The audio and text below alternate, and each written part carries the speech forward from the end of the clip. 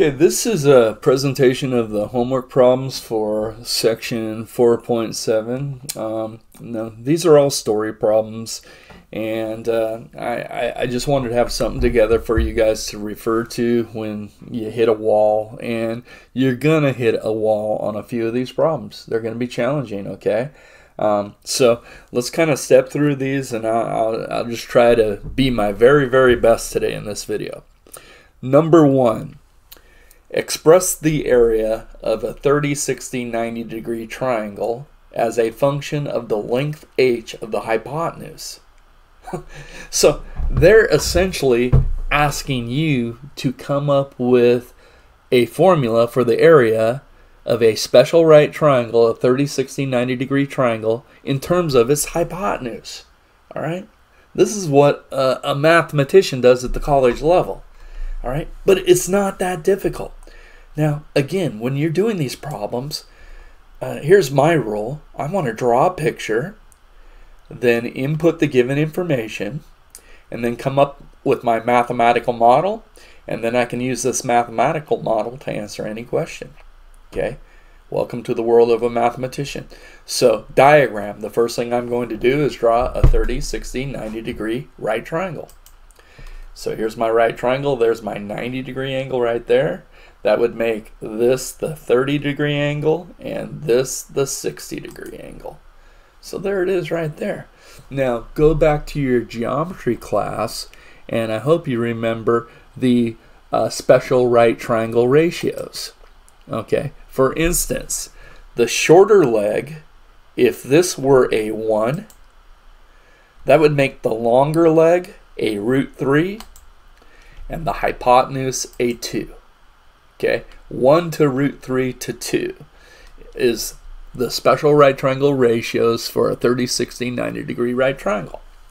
Now, this is, you know, great. We have numbers if this lower leg is 1, but this lower leg, I'm coming up with my own formula, could be anything. So I'm going to rewrite that 1 as an x. I don't know what it is. So there's my x. Now let's write the other two dimensions of this special right triangle in terms of x. So 1 to root 3 becomes x to root 3 times x. All right? And 1 to 2 would become x to 2x. Okay, now I'm set for any 30, 60, 90 degree triangle in that diagram. But guess what? They want our formula in terms of h, the hypotenuse, which I have written now as 2 times x right there. So I need a third diagram. And I'm going to write the hypotenuse now as h. But again, what was h? It was 2 times x. So if h is 2 times x, then x would be, see the short leg? h over 2. All right? And now what would root 3 times x be? Well, that'd be root 3 times h over 2. Okay, oh, and I wrote that as root 3 over 2h. There we go. Now, there are the dimensions of any 30, 60, 90 degree special right triangle in terms of the hypotenuse h. Now, my job is easy because I know that I need area in terms of h. Well, what's area of a triangle? Again, it's base times height divided by 2, right? So let's start there. Area. And now I'm working on, I've got all my given information right here. Great diagram, given information. Now we're working on our mathematical model. All right? And area of a triangle again, base times height divided by 2. Okay, so in this diagram, my base is root 3 over 2 times h. My height is h over 2. And then we take that, divide by 2. Now let's simplify, and we have just come up with a very special formula. So a of h would be, well, let's see. My numerator would be root 3 times h times h, root 3 h squared. And then I'm dividing by 2, and I'm dividing by 2 again, and then I'm dividing all that by 2, so I'm really dividing by 8. And guess what? This is the area of a 30, 60, 90 degree special right triangle in terms of the hypotenuse of that triangle. We would just come up with a formula. So there's our mathematical model right there. that's awesome. And that's what a mathematician does. College level when they're coming up with their own theorems and stuff. You know, if we had done this many, many years ago, we'd be in a book right now. All right. Awesome job. I hope you enjoyed it as much as I did. Okay, number five. A store owner bought N dozen toy boats at a cost of $3 per dozen and sold them at 75 cents each. Express the profit P in dollars as a function of N, the number of dozens sold. Okay, so you know what? This, there's not really a geometric model, you know, a diagram. So when I, I think about what I typically do, I don't have a picture really to draw. All right. So that's out. So I've got to think, is there information so I can create a mathematical model to answer this question? And what do they want? They want the profit. All right. So let's go back. What does profit equal in the business world? Profit is always income, or some people call that revenue, minus cost. The amount of money you bring in minus the cost. Income minus cost. So let's see if they have given us the information to come up with an expression for income and cost. And they want this in terms of N. All right. So first thing I notice right here is this this this owner of some store is going to sell these toy boats for 75 cents each. All right, now I need everything in dozens, but I'm going to make a little point right here first. I'm going to go let X equal the number of boats sold.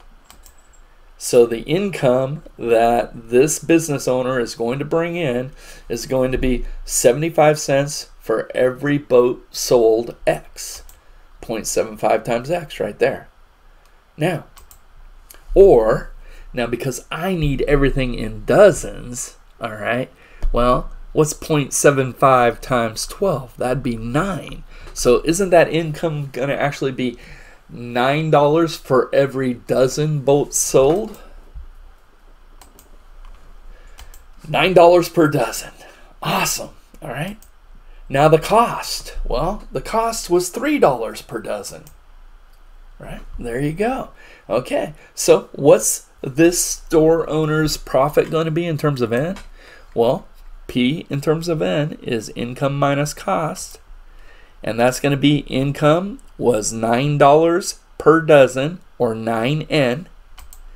Cost was $3 per dozen, 3N. And now combine like terms, P of N equals 9N minus 3N. That would be P of N equals 6 times N. Pretty good business right there. And what do we have? Our mathematical model. And that's all they asked us for right there. And this is a pretty happy store owner right there. All right, good gig.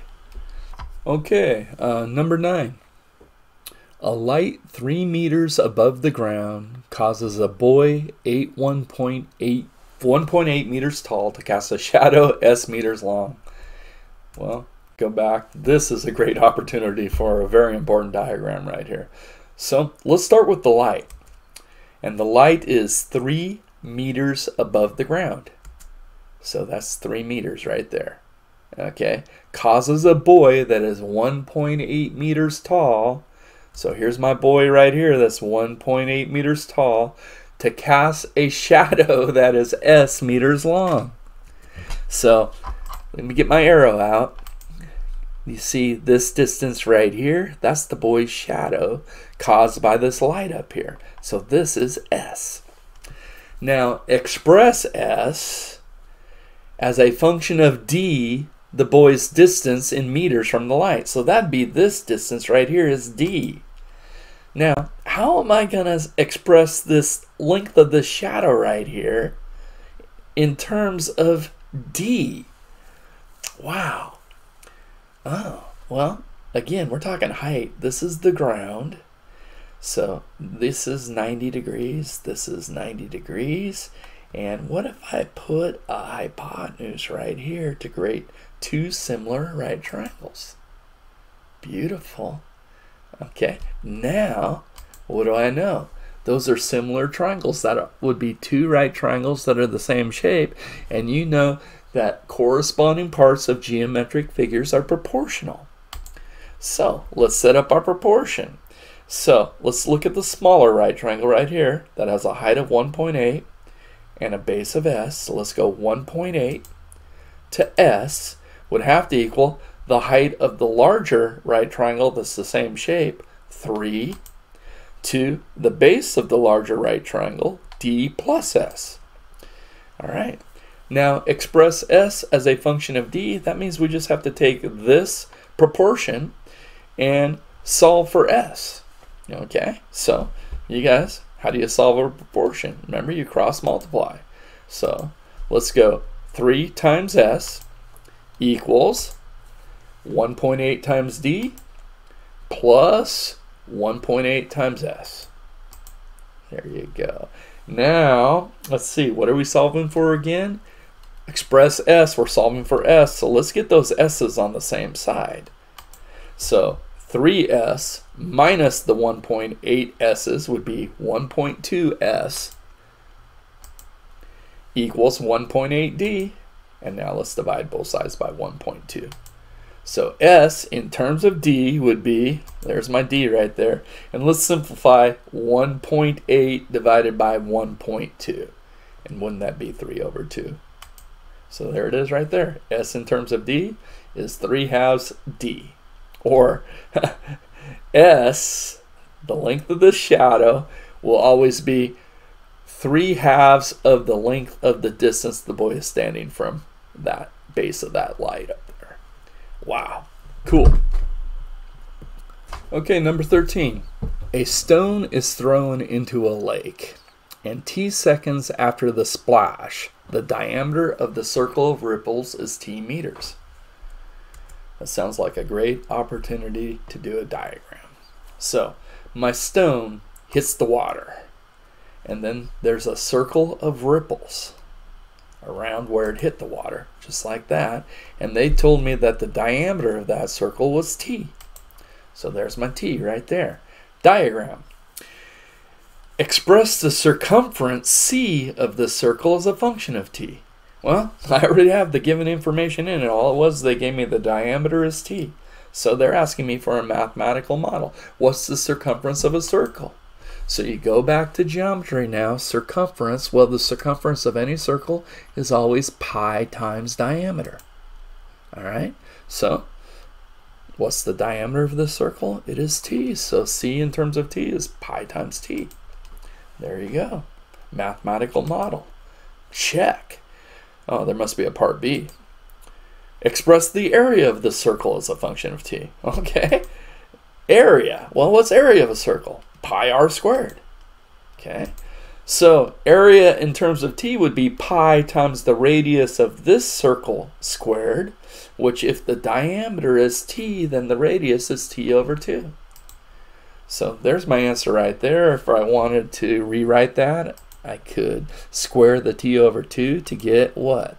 A pi times t squared and then I've got to square the divisor over 4. So either of those answers are appropriate. And looks like that's all they asked for is a couple mathematical models right there. Okay, at 2 p.m., a bike A is 4 kilometers north of point C and traveling, traveling south at 16 kilometers per hour. At the same time, a bike B is 2 kilometers east of C and traveling east at 12 kilometers per hour. So this is like the problem in the lesson where we had the bridle path and the boat on the river. So I'm going to draw essentially a coordinate plane here where point C is the origin. And a bike A is 4 kilometers north of point C, so up here somewhere, and traveling south at 16 kilometers per hour. Something like that. All right. So what would make the distance that that bike is from point C? Well, that would be 4, but it's traveling towards C, minus 16t. So this distance right here would have to be 4 minus 16t. Now, at the same time, bike B is 2 kilometers east of C, so starting out here somewhere, and traveling east at 12 kilometers per hour. So the bike is starting east and traveling away from C, like that. Now what's this total distance right here? 2 plus 12t. Okay, so we have a diagram and we've input the given information right there. Okay, so yeah, do you guys see the right triangle again right here? All right, beautiful, right? And the distance between the two bikes would always be the hypotenuse of this triangle right there. So, part A, excuse me, show that t hours after 2 p.m., the distance between the bikes is root 400t squared minus 80t plus 20. So, I'm looking for this distance right here with the given dimensions of one leg is 4 minus 16t, 2 plus 12t, and that distance right there. Okay, Pythagorean theorem again. And I already have the answer I'm looking for, but let's prove it. So c squared, or in this case d squared, has to equal 4 minus 16t quantity squared plus 2 plus 12t quantity squared. Okay, if I solve this for d, I should get this root. So, well, we've got, we need d, not d squared, so let's square root both sides. So d equals the square root of everything over here on the right. Okay, now all we have to do is expand these these terms right here and then combine like terms and we're hoping to get 400t squared minus 80t plus 20. So let's find out what happens here. Well, 4 minus 16t quantity squared would be 4 times 4, 16. And then I'd have a 4 minus 16t, that would be what? Is that a negative 64t? And then I have to do that again, another negative 64t and then negative 16t times negative 16t would be positive 256t squared. All right, and then do the same thing with this one. 2 times 2 is 4, plus 4, and then I've got 2 times 12t, 24t. 2 times 12t again, 24t again, and then I've got a 12t squared would be 144t squared. All right, combine like terms. And look at what we happens here. You see the 256t squared plus the 144t squared? That would be what? 203. That's 400t squareds. And by the way, that's what I was looking for. I think I got this. All right, how many t's do I have? Negative 128 t's plus 48 t's, and that's going to give me my negative 80 t's. Awesome. And then I hope my constants add up to 20. There's a 16, and there's a 4, plus 20.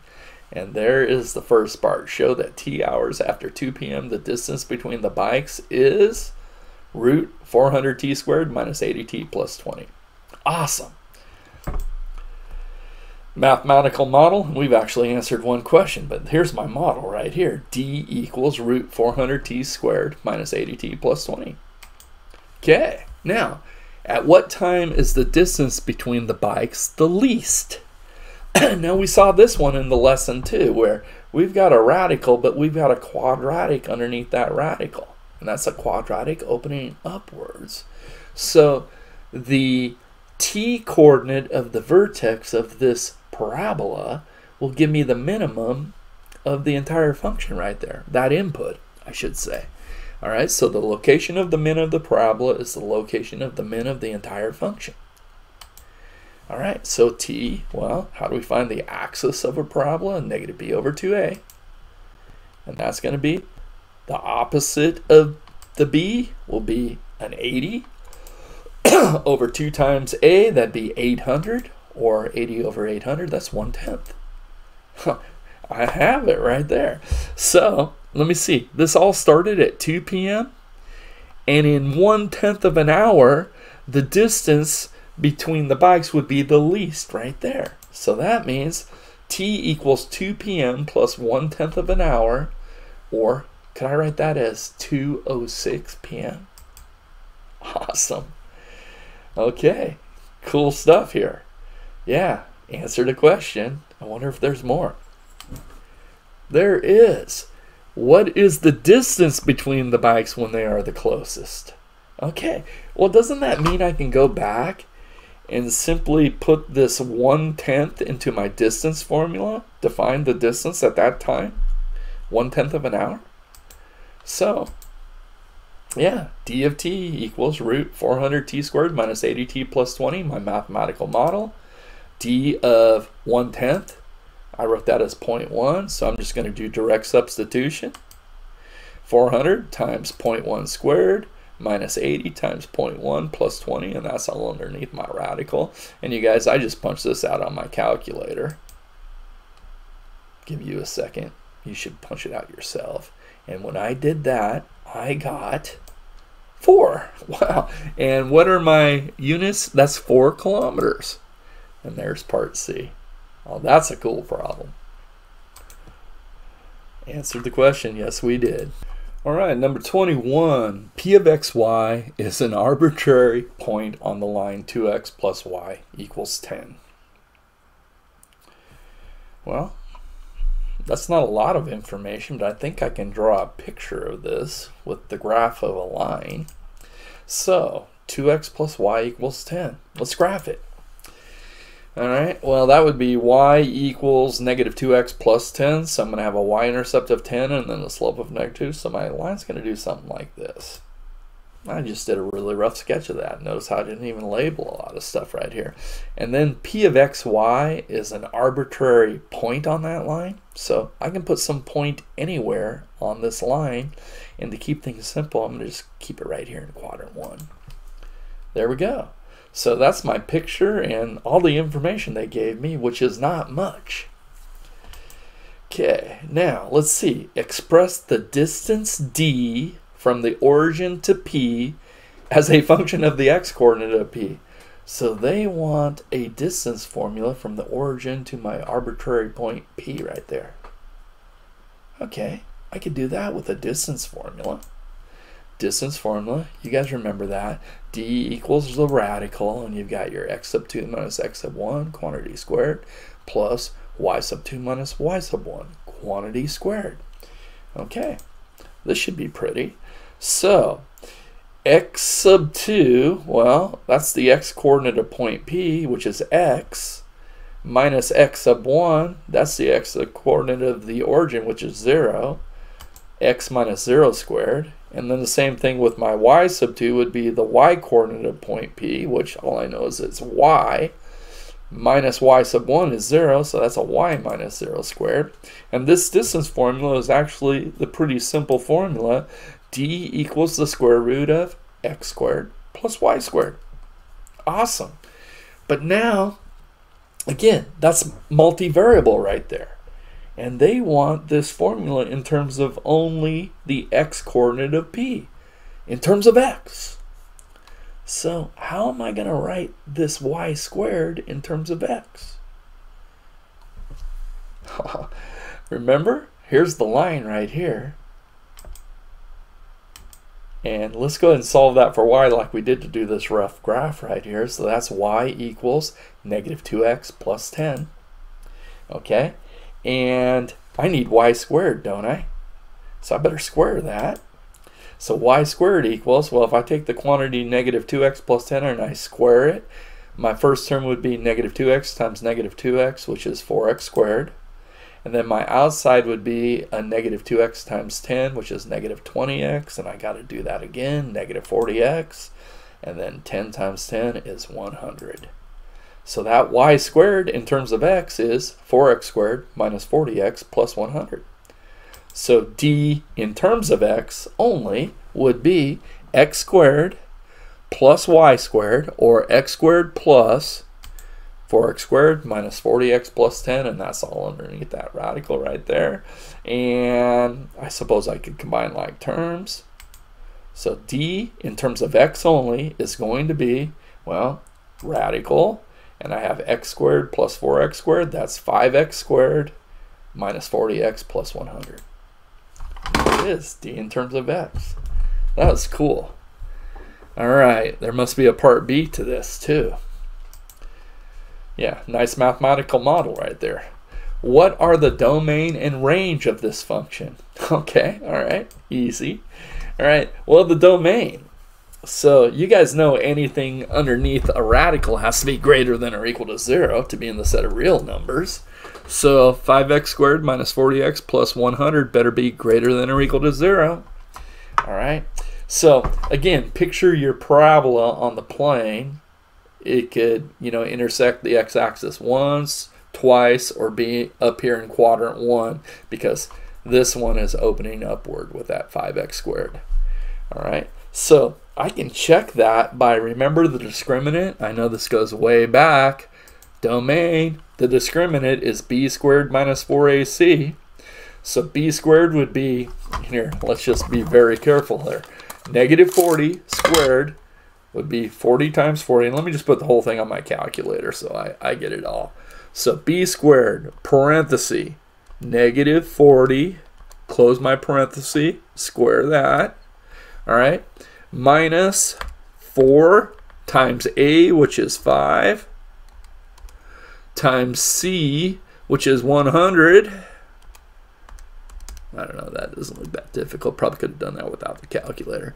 And I'm getting a negative 400. All right, so this discriminant is less than 0.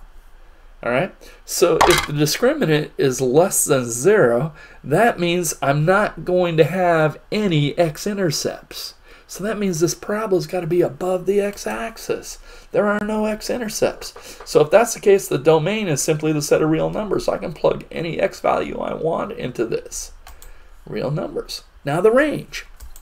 Well, I better find the min of this. You know, and there's lots of ways I could do it. But again, look under the radical. That's a quadratic. So if I find the location, the min of the min of the quadratic, that will give me the location of the min of the entire distance formula right there. So let's find this vertex of that quadratic. And you guys know vertex is x equals negative b over 2a. The opposite of b would, oh, I did it all. Let me, let me talk through that. The opposite of b would be 40 over 2 times that 5, 10, and 40 divided by 10 would be a 4. There you go. So now I can plug that 4 into this distance formula to find my minimum value, my minimum distance. So I'm going to go d of 4 equals root 5 times 4 squared minus 40 times 4 plus 100. Oh man, looks like I skipped a lot of steps here. Let's see. Let's see if we can handle this. 4 squared is 16 times 5, 80 minus 160. That's negative 80 plus 100. Are you guys getting a 20? And now let's practice uh, uh, simplifying our radicals. 20 has a perfect square factor of 4. So that would be 4 times 5, and I'm going to bring the square root of 4 out. So 2 root 5 right there. There we go. That is my minimum value of this distance formula. So I'm going to say since 2 root 5 is the min, d of x is going to have to be greater than or equal to 2 root 5. Another great problem. And we answered the question. Okay. Okay, number 25, our last problem. I hope you guys have had as much fun as I have had here. Anyway, from a raft 50 meters offshore, and look, the book gave us a diagram. There's my raft right there, 50 meters offshore. A lifeguard wants to swim to shore and run to a snack bar 100 meters down the beach. So the lifeguard's going to jump off the raft and swim to the beach and then get on that sand and run all the way to the snack bar right there. And the snack bar is 100 meters down the beach if the lifeguard swam directly to the shore, like most people probably would do. Who knows though? Okay, and then they gave us some information here. You know, if the lifeguard swims at one meter per second and runs at three meters per second, express the total swimming and running time t as a function of the distance x shown in the diagram. So I want running time t, express the total swimming and running time t as a function of this x right here. Oh my. Well, we'd better write the hypotenuse of this right triangle in terms of x, and then write this running distance in terms of x. Okay, that looks easy. So, here we go. Information, let's put it in there. All right, what is this going to be right here? This hypotenuse, well, Pythagorean theorem. Doesn't this distance right here squared have to equal 50 squared plus x squared? So d squared equals x squared plus 50 squared, Pythagorean theorem. And then what's this running distance right here? Well, the total distance is 100 meters, but the lifeguard has covered x of those 100 meters, so this distance right there would be 100 minus s. Oh, first let's do this. That's distance squared. Let's take the square root of that to get the distance is root x squared plus 50 squared. Now let's talk about that distance right there, which would be 100 meters minus x meters. Okay, cool. So, t of x, time, we're talking time here. All right, to answer this question, we've got to go back and do a little physics here. Distance. Can we write distance in terms of time? And isn't distance going to be rate times time? And we want time, so let's take this, distance equals rate times time, and solve for t. So that would mean time will always equal the distance I am traveling divided by the rate I am traveling at, d over r. And now I have my total distance here in terms of x, okay, and the rate at which the lifeguard is swimming, and the rate at which the lifeguard is running. So let's set it up. Okay, so time in terms of x. Now I forget, wasn't that lifeguard swimming at one meter per second? So distance is root x squared plus 50 squared over 1. Okay, cool. Distance over 8. Now they're running. Okay, the lifeguard is running a distance of 100 minus x, but wasn't it the lifeguard was running at what, 3 meters per second? 100 minus x divided by 3. There's my model right there. Now we can clean this up a little bit. So I wrote it as the square root of x squared plus 2500 plus 1 third, 100 minus x. That looks great. So there's my mathematical model right there. Okay, let's make sure we've answered that okay though. Okay. Yeah, so if the lifeguard swims at 1 meter per second and runs at 3 meters per second, express the total swimming and running time, t, as a function of the distance x shown in the graph. All right, so I need t of x. And that is t of x now, but there's going to be a domain restriction here that I probably will want if I want to answer some questions. So t of x equals radical x squared plus 2500 plus 1 third times the quantity 100 minus x. And again, well, what can this x distance x be in what interval? Well, the lifeguard could have swam straight to the beach, making x 0, or the lifeguard could have swam straight to the snack bar, making x 100. All right, so that means that that x has to be in the closed interval from 0 to 100 right there. And I want that to use a calculator to answer any questions. Okay, and here we go. Look at that. Use a calculator to find the minimum time. All right, so that means we're just going to put this function as y sub 1 equals root x squared plus 2500 plus 1 third times the quantity 100 minus x. And I'm going to put that on the window, the x interval 0 to 100. So there's my graph when I did that. And you make sure you do this on your calculator. Know which buttons to push. All right. And then let's find the minimum time. So what time is it right here? Okay, so my window, you know, there's a window I use too for that graph, by the way. But again, you guys know how to find a minimum. Then you just go that second calc min, and I got 80.5 seconds approximately. That's it, you guys. How cool. All right, we answered the question. Is there anything else? That is it.